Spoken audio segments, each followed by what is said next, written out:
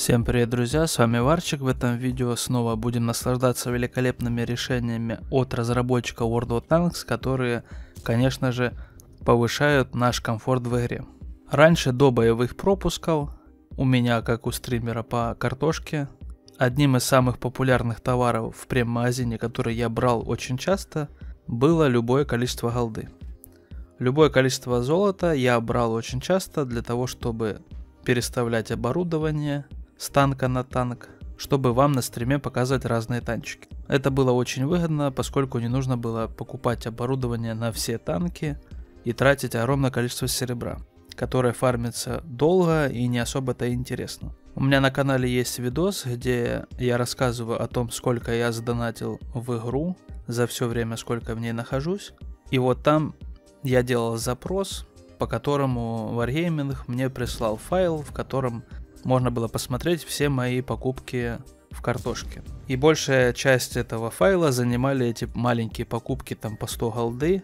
Там их было так много, что их даже невозможно было посчитать. Это, наверное, самый популярный товар, которым я пользовал. И теперь с первого числа его закроют и больше его не будет. Но я, в принципе, не расстроен, поскольку последние пару лет я ею не пользуюсь этой великолепной функцией любое количество голды. Оно мне не надо, поскольку голды навалом, а голды навалом со всяких коробок, осенних, новогодних, и голда мне не нужна вообще. Поскольку для того, чтобы показывать вам всякие там танчики, приходится иногда покупать коробки, после которых остается много голды, которую некуда девать. Поэтому эта функция себя изжила лично для меня, но те люди, которые, допустим, не покупают коробки, для них, возможно, эта функция до сих пор актуальна. И я заметил большое негодование, огромное количество людей, что эту функцию уберут, поэтому это очередной раз, когда Wargaming ухудшает комфорт игроков для того, чтобы зарабатывать больше бабла. Это очевидно,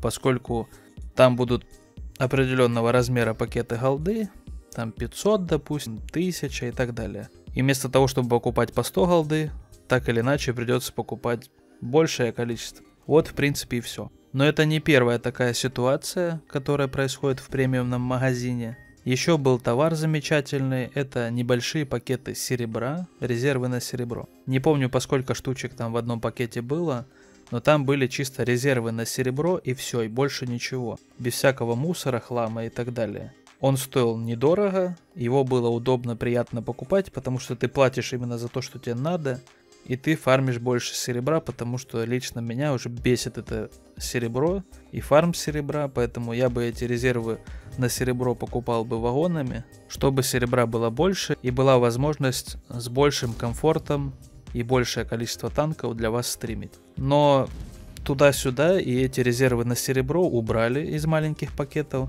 и засунули в большие с кучей мусора, которые стоят дороже, и там есть куча всякого барахла, которое мне не надо вообще. Там есть резервы на серебро, вместе с которыми идет резервы на опыт, на опыт экипажа и еще какая-то параша. У меня резервов на опыт сотни штук лежат на складе, они мне не нужны вообще.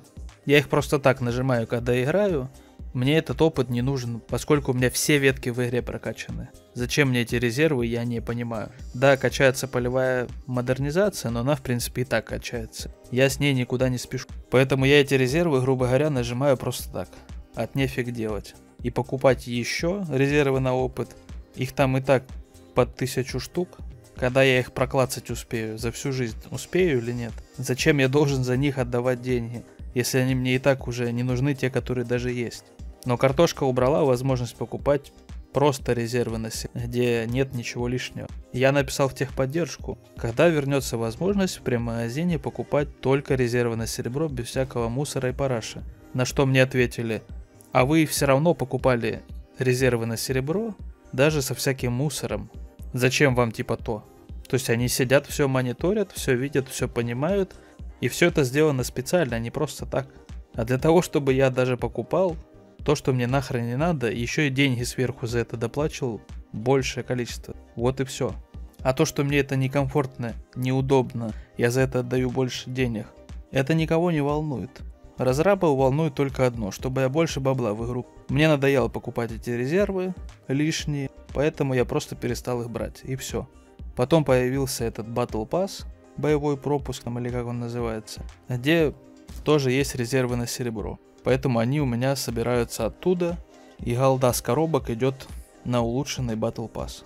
И оттуда я получаю резервы на серебро. А заходить в прем-магазин, честно говоря, я не вижу смысла. Там все конченое, неудобное, неприятное, с кучей мусора. И большая часть всех пакетов то, что мне нафиг не надо. Зачем я должен за это платить? Поэтому последнее время я вообще даже не захожу и не открываю прем-магазин. У меня почти 500 дней према, куча резервов ненужных. И только нужные резервы на серебро я получаю с Battle Pass. Вот и все. Все то, что мне нужно было в прем-магазине, они из него убрали. И засунули это туда, где дороже и куча ненужного. Вот такое отношение к игрокам. Если кто-то реально наивно спрашивал, зачем это сделали, если это была самая востребованная функция в прем-магазине, то вот вам ответ. Просто, чтобы больше гребсти бабла. Потому что игроки все равно покупают ненужные пакеты дороже с мусором. И даже я их покупал, потому что не было выбора и выхода. Но я стримлер по картошке. Мне так или иначе в любом случае вам показывать танчики. Но обычным игрокам зачем на это вестись, я не понимаю. Пишите в комментариях вашу ситуацию, может быть у вас что-то по-другому, и вам эти самые популярные и удобные товары для игроков наоборот не нужны. Может они стали непопулярными, поэтому их выводят.